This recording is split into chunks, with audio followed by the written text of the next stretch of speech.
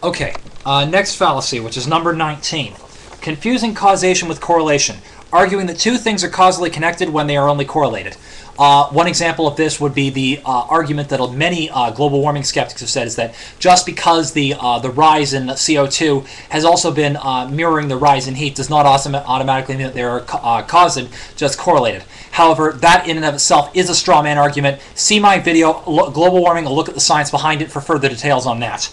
Okay, next critical thinking fallacy is number 20, poisoning the well. Uh, this is basically attacking the person in advance. Biasing the audience by attacking the speaker's character before she or he, uh, before he or she has a had a chance to present his or her case.